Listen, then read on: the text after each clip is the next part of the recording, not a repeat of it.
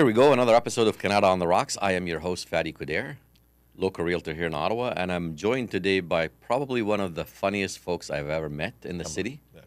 Todd Van Allen, who is actually performing nowadays at Absolute Comedy. It's also funny, sort of like all the different communities that one of the first corporate shows I did when I moved here, uh, this guy messaged me and said, Do you want to do a corporate at a golf course? I'm like, Yep, no stranger to it. I know what's going to happen.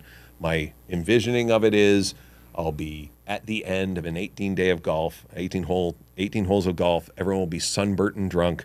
They will have eaten a huge plate of beef, and I'm standing in between them and the silent auction where they can win a golf bag. Like that's that's how it's going to go. I'll do 20 minutes. No one will want me there, and it's fine. And then the details start coming into about the show. It's like, um, okay, so it's um, Indian business. It's like, okay, so a bunch of people from India. I get it. Okay, so they just want something. Then it's like, okay, and their families are going to be there. I'm like, oh, great. You gotta clean So it up now. I've got now I've got kids and wives. Great. So Indian businessmen with their families at a golf course. The place is just is, is filled with Indian people. There's like two white people Mm. uh, off in the corner. So I'm like, I don't know how they got the invite. I don't know what they got, but okay, they're there. And I I find the organizer and I go, so I assume I'm going on before dinner. It's like, yes, you'll be going on before dinner. It's like, perfect. And it's like, uh, now, when when do you want me up? He says, well, we'll we'll bring you on. And so, and they they start the thing, and the first thing that I I hear is the MC going out into the middle of this dance floor. So like the way it is is like uh, all the tables are around the dance floor, and the dance floor is empty. It's a great way to connect with a crowd to be so far away from them. So already I'm starting to think, mm, I don't know how this is going to go. And what what then I was like, well, now I'm really in trouble. Is the MC starts speaking, and I turn to the DJ, uh, who is like playing music beforehand. I was like, "What is that?" And he goes, "Oh, that's Punjabi." I went, "Perfect." You know I don't speak Punjabi. He said, "Don't worry about it. It'll be fine." I'm like, "Hmm, okay." And so he, uh, I, I'm waiting for him just to say my name, right? Because then I know that I'm going to go. He's like, ladies, and he says, whatever it is in Punjab, because I don't speak Punjab. And uh, he announces a dance troupe. So this Bollywood dance troupe comes out and takes the stage. So I turn to the DJ again. I go, so they're going first, huh? It's like, yeah. And then, uh, so, so then it's me. He goes, no, there's another dance troupe, and then it's you. So I'm going. I have two Bollywood style dance troupes engaging the audience. They're loving it, and I'm like, what can I possibly have in common with these people? Yeah, well, they couldn't put you in the middle. Yeah, well, I think I, honestly, I think that would have been worse because then it's because then It's it's, like a like Todd sandwich. It's like a Todd sandwich, and I'm like, get get to the, get to the bread then because this is not. And so, literally, the the way I connected with this uh, because again, it was uh, like the second dance crew goes, and I'm like, I'm, I'm, I'm like this, and like, uh, did, me? that, did that me? sound like my name? Did that no? Nope. And then, uh, uh, literally, I just suddenly heard Todd, and then this guy hands me the cordless mic, and he leaves. And so I walk in, and everyone's like, Who is like- who like, invited this who- guy? Right. And I went, uh, so thank, and, and, my, my opening line for these people is, um, I, I, they, they wanted a comedian. I can't thank you enough for having me as, as part of your evening. Um, you realize I'm not Russell Peters, right? Like you know, did, did you knew? Yes. Is it the, this? And uh, and that's that's how I got the crowd. It's like I acknowledged it, and and then I just ca- I called out the white people. It's like where where are my white people here? And like two people over there. It's like keep your head down and eat the curry. That's all you're doing. Keep your head down. It, just smile politely. That's all you need to do tonight. And by that point, the crowd was like, "Okay, we get him." And He knows where he is. it was great. It was That's great. it. It. was it was one of the best corporate shows I've ever done. in My life, weirdest one I've ever done. Mm-hmm. But it was it was great. It was it was that connection with the audience. I'm walking around and I'm talking with people, and they they were great. They thankfully they spoke English. The majority of I think there were some people that were just smiling nicely and uh, you know wait, waiting for the white man to go away so that they could enjoy their you know their their food The rest of the evening. the rest yeah. of the evening and you know yeah. So what what does comedy look like in Ottawa today? Ha! It is great. It is. It's one of the funnest communities I have been privileged to be part of. Funnest slash funniest. Funnest slash funniest. Yeah, it's the well. It's always going to be funny. Your your communities are always going to be funny to, to some degree. Like Yeah. whatever whatever culture is is building out the the comedy. it's going to have a style to that area. Like it's going to build stuff out for various reasons. Like in Toronto, because Toronto itself is very neighborhood driven, because the East End is different from the West End, which is different from Little Italy, which is different from the you know the Annex, which is different from Etobicoke, because Toronto itself is neighborhoody and fragmented. The community itself is fragmented. So you get these clique of comics over here. There's there's overlap. There's overlap and, and, and, and there's there's movement in between the communities. But there is very much a oh, there's this pack of comics and they seem to stick together. And then there's this pack of comics that seem to stick together. And there doesn't seem to be that in Ottawa. That's the first thing I kind of noticed as as things were coming in. And I came in at the perfect time to come into a comedy scene when nothing's open mm-hmm. because we're in lockdown. Yeah. Two months in, like May 2020, I came in and I got messages back from friends of mine going, How's the Ottawa community? And I go, I don't know. I haven't been able to see it. Like, it, there was no, I had one friend here that did stand up. That was it. And so he and I would kind of hang out. And so, like, we would talk over Zoom and stuff and, like, you know, two meters apart, beers in the driveway and that sort of thing. And, and just talks like, so what are the rooms? What are the places? And that, and that sort of thing. And one, uh, so as, as things started to open, and this was at a time when there was like um, plexiglass surrounding the stage. Like it was just when you think back at it, it was. Did you ever go out to Yeah. shows Oh, yeah. during that? So you know, it's like there was normally there'd be 180, 200 tables. Now it's down to 10, 25. 25, yeah. Yeah. So there's 50 people. Yeah, I remember the room. first show, like when they first opened, I got Yeah. a call and I was like, because they were trying to fill the room. Like with all honesty, Mm-hmm. they had a struggle filling out the room. So I got a call. I was like, "Yeah, I've been to your show. I'd love to come. It's a free show, whatever." And then you you obviously pay for your food and drinks, Mm-hmm. Yeah. whatever. And I got there. I was like, "Man, the room is empty. Yeah. Like I could sit at any table I want as long as it's not within the social distance. kind of two meters apart. yeah. Plexiglass on the stage, and we were still panicking that because we didn't have a vaccine at that point Yeah. yet. So, and it was my wife actually. She went. She knew that things were opening up, and she turned to me one day and said, um, "So when are you going?" I go, "What do you mean?" He's like, "When are you going to shows? When are you going?" I said, "Well, let's talk about that." So we, you know, discussed it, and it's like.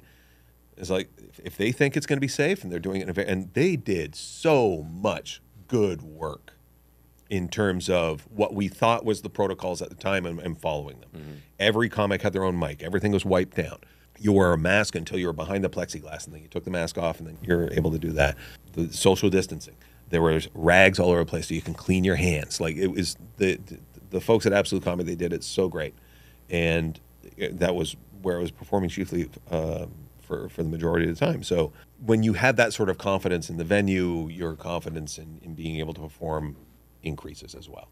So that was one of the things that kind of uh, that that was interesting to me is like trying to get bearings, you know, in the in the time of cholera, trying to figure out what a community Yeah, is like, yeah. right? So eventually things started to open up more. I started to get more exposure to the to the comedy communities. I go out to open mics as I do more shows in, in, in Yuk Yuk's and, and Absolute and and and starting to see how the, the community is kind of built together and see how they are putting shows on and, and that sort of thing. And it is very much a family. It's very much a everyone knows each other.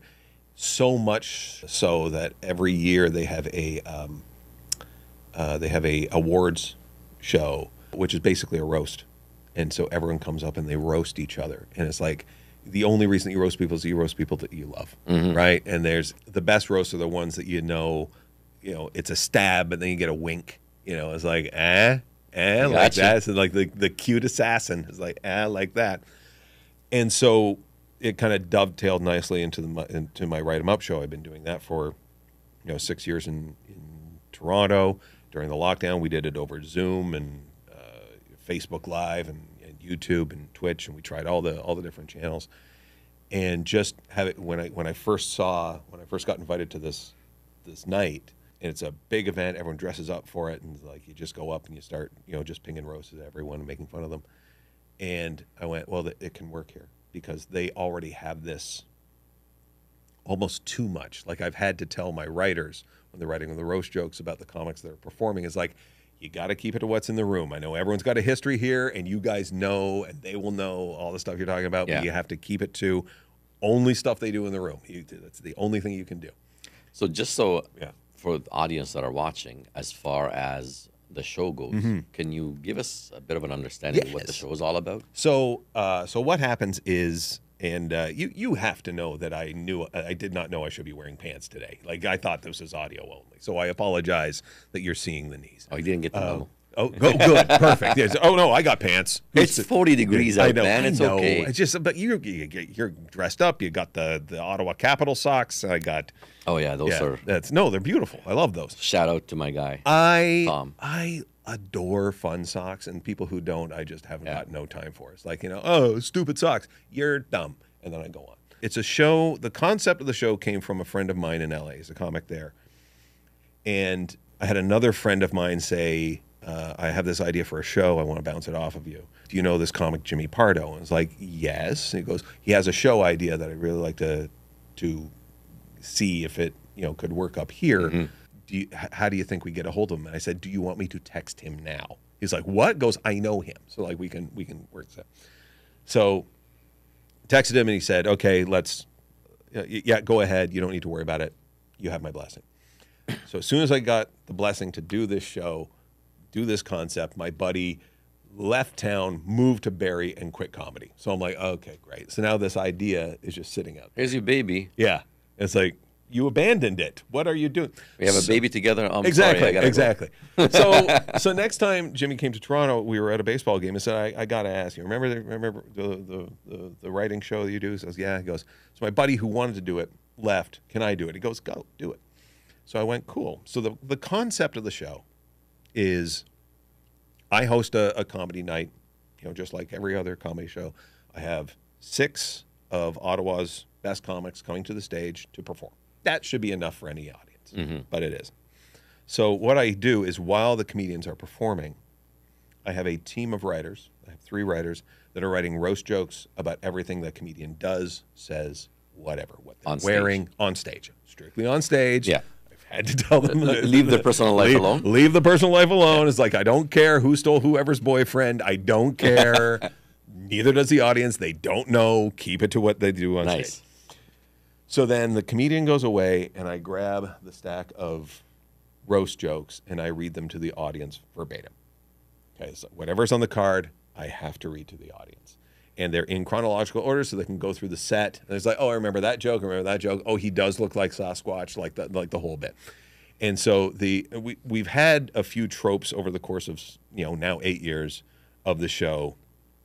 Uh, one being that um, uh, the best uh, roasts that uh, that the audience like, and I, I let the audience know. It's like you know, if you really like one, we're gonna put it on the fridge, and that's a shout out to like when you're five years old and you come home with like a uh, a turkey hand, you know, piece of art for Thanksgiving. Go, mommy, I made a turkey. He's like, oh, that's great, and you put it up on the fridge, and then a week later, it's in the garbage.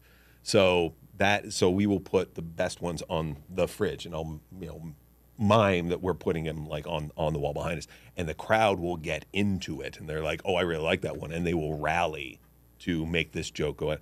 So then what we do is we post them, we post these roasts on our social media at Write 'Em Up Show, so on Instagram, Facebook, all that, and uh, the best ones are published out there without context. So literally, you, you could get a good one with nice hat.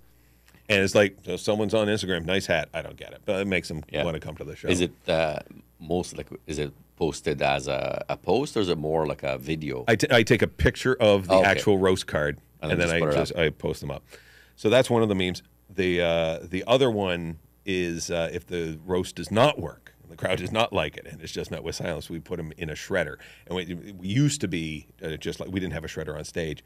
I'd just throw it out and go. But now I've actually got a shredder, so we're going to like drop it like so, like that. And myself, two things have happened. Uh, I will screw up a read you know, I'm a professional voice actor.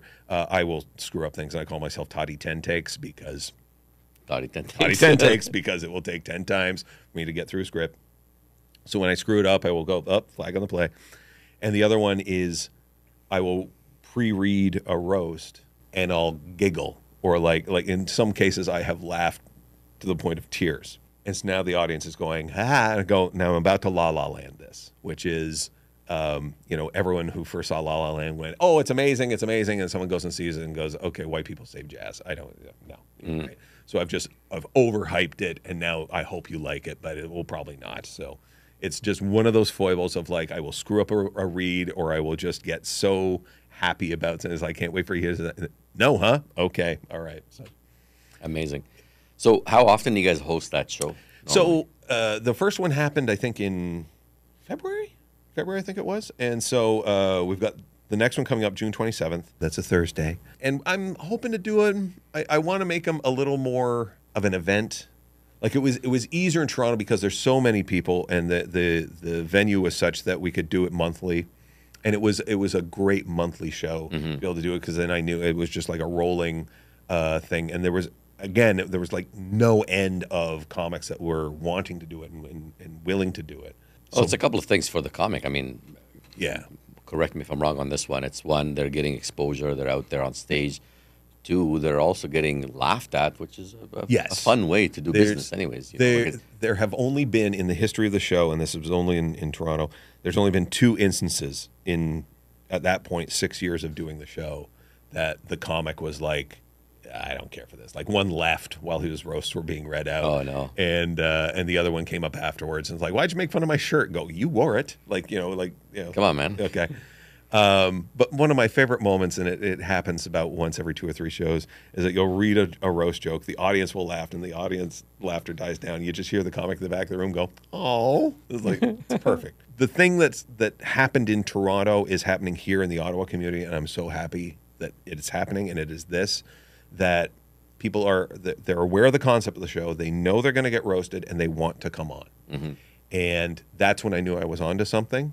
There are some com- there's comics like the, the- everyone is different and everyone has their own sensitivity levels. And I'm I, and I will I will ask and say, hey, I would love to have you on my show. And they're like, I don't know if I can take that style of criticism. And it's like that's totally fine. That's totally fine. I said, would you like to be a writer? I don't like dishing out that type of criticism. It's like that's also totally fine. So it it really is, and- that those people are few and far between. I respect their decision and and, and however you know however they want to do. The but the the the comics are like I heard about the show I want on, you know, let me on. And so like I would in in the Toronto scene, and I'm, I'm doing it here. I'll go out to open mics and watch comics and go, oh, they'll be ready by the time the next show comes along you know, in Toronto, I'd see someone and go, they'll be ready in three months. So I was like, hey, we- I'm, I'm thinking sometime June, July. Would you like to come on then? It's like, absolutely, we'll do that. And in a lot of cases, I was able to, because it was at Comedy Bar, I was able to give a lot of comics their first paid show at Comedy Bar in Toronto. And like, and they were like, thank you so much for that. And it was, it, it was great for me. And I just like, and one of the things I also try to do is make the show as inclusive as, as possible. Like, um, and that's it's hard. It's not impossible, but it's more difficult in Ottawa because the community. It's a because it's a smaller community. There's harder to find. It's it's harder. It's not it's not impossible. It's just more uh, slightly more difficult than Toronto is to find members of different communities to be able to, to come in and do stand up at a, at, at a, Yeah. At, at Well, it's also level. like not every community is inclined to have comics as part of like. A, I'll give you an example. Like in my culture, it's always about you know becoming a doctor or a dentist, Correct. or Correct. Mm-hmm. you know uh, maybe the odd engineer here and there, right? Like you go to your parents and say, "I want, I want to become a comic." What what the hell are you talking about? Oh, You're a yeah, yeah. joker. yeah. Get out of here. Uh huh. So that's it's big for a lot of communities. uh, Yes. you know, just to like be able to abandon everything that your parents believed in, Mm-hmm. Right. Just so you can do your own thing. the the number of Arabic comics that I have uh, that, that I've had in, in Toronto and, and the Egyptian comics as, as well, they all talk about that experience of like and it's it's rife in the community. Yeah. right? And but it's it's how you address it. And it's how you it's, it's how you deal with it, and that becomes part of your voice. It becomes part of part of your uh, your delivery system. And I think I think that's great. One of the one of the best moments I ever had, and I, I felt so sorry for the guy, but it worked out so well. It was before a show in Toronto, and I'm in that mode of like, where are my comics? Where are my writers? Where are my audience? Like, a, like I've got zero out of three right now. Where is everyone? Like, like that sort of thing. And eventually, the comics start trickling in. I get a couple of writers, like, okay, fine. And then some people start to, to, to come and go. Is the show on? Go, yes, okay, fine. So like, we've got enough people. We have a show, and I go into I do one last check of the of the the showroom, and one of the comics is there, Kinnis, I think was was was his name, uh, Irish guy, and he's uh, it's like a stereotypical writer's block thing where he's he's in front of a blank piece of paper, his pen is above it, and he's frozen, and I'm like, uh oh, we might have a problem here. So I come over and I go, uh, what's what's wrong? He goes, I don't know what jokes to do tonight, and I always being helpful. I said, I would pick the funny ones, you know, hoping that would help. He goes, uh, well, no, I want, I want to do my gay material. And I went, great, do your gay material, do it. He goes, well, what about your audience? I go, they're not my audience if they can't handle gay material. Like that's not what we're building here because every single show, I would try to make sure, like I, when I was developing the roster for the show, and like I, I would, I would go through and go, right, who have we got? I'll look at it and go, it's too white and male. So I need more female. I need more BIPOC people, and then I look at it again, too straight, and I need you know some representation of, of, of the the, uh, the LGBTQ community. So I would I would do that. It's like if you're not willing to listen to other voices, then I don't want you to be an audience member of the show. Mm-hmm. It's it's because I want to see the diversity in the community. I want to see the diversity in the jokes. I want to see the diversity of the roasts to be able to to to talk about that. And, and it's always great. It's always wonderful because the reason I like that to, to build a show like that is to be able to learn myself about those communities because you learn so much when you see comics perform yeah. about their communities. I taught at Second City for quite a while, and then when we moved online, they did it, and I, they had a stand-up program. They said they approached me and said, "Would you like to teach?" And one of the things I loved is watching the makeup of, of the room because more and more females were coming into the into the program because the club system and the, the open mic system can be somewhat daunting, you know, and a lot of people are just looking for a, in most cases, where do I start? Like, how do I start comedy? How do I do this? So Second City sort of provided that. And, and, and my, my, friend Pierre Brault runs a similar course here in Ottawa where you can sign up and you, you'll learn how to do stand up and you do a show in front of your friends and family. It's very contained and supportive, and it's it's it's great. But seeing more people from BIPOC communities, from from from different genders, from from the LGBTQ community, it helped me grow in my understanding of where their material is coming from, and then I got to put myself into their shoes and write those jokes for them. So if I had someone that was from the Arabic community and they're trying to to do it. It helped me learn about the Arabic community because I'm hearing the jokes and the premises they're coming up with, and then I'm like, oh, okay, so this is how we can find that funny. Does this work? And then we would work on a on a ways to to kind of bridge that gap between you know sort of like my impressions of the culture versus what yeah. the reality is, and then they help you know correct my course. And, oh, for sure, it's definitely uh, comedy has grown over the years. Like I I find like I said, I've been going to comedy mm-hmm. clubs mm since like 2000, 2001. Yeah. I kind of started going to comedy clubs, and it's just, it's always like you, you notice now it's packed. Before yeah. it used to be like, okay, you'll go on a you know Saturday night or mm-hmm. a Tuesday night or whatever. It'll be half the audience that, that are today, and like they're actually having to book. Like you got to book yeah. in advance to show up and, mm-hmm. and do all of that, which is fantastic to see. And then the city is growing. Here in the city, we've got the two Yuk Yuk's and mm-hmm. Absolute. Yep. For anyone that's watching, Yuk Yuk's is on Elgin Street. Fantastic place there. Oh, they moved. Where to? Yuk Yuk's is now on. Oh, it's where Biagio's is. Okay. Um, we'll look it up. Look it up. I, the, the and then Absolute has yes, been on Preston. Absolute Preston has been there 20 forever. Years. Yes. 20 plus they're years, About yeah. to, they're about to celebrate their 20th anniversary, I think. So. Amazing. Yeah. Yeah. So shout out to both. Fantastic places to go to. And then the cool thing about Absolute is you can always, you know, if you decided to go to the eight o'clock, you can always go out mm-hmm. after, do your yeah, exactly. thing, you know, go to Heart and Crown down the mm-hmm. street. Lovely spot, or, right. or even the Moon Room just mm-hmm. down the mm-hmm. street. It's, uh, it's fantastic. As as I used to say, we used to do our our monthly in Toronto was at 7 p.m. on a Saturday. Yeah. And I would open every show as like, you know, thank you for coming. It's like, look at it this way: if everything goes wrong, you still have your night. Exactly. You know, exactly. Like if if it's you leave here at eight fifteen, going, oh, that sucked. It's like, well, go get a drink. You know, yeah, yeah for like, sure. Yeah. It's a perfect date night. Like if you're going to Absolute, you go Correct. down for the eight o'clock show. It doesn't mm-hmm. work out. You get out. You can laugh about exactly. the audience. Laugh, exactly. laugh about what, what happened. Yes. Uh, and connect with the mm-hmm. with the date that you have and what have you. Moon Room is a is a great spot. It's actually mm-hmm. one of our uh, uh, really cool spots here in the oh, city. Oh, nice.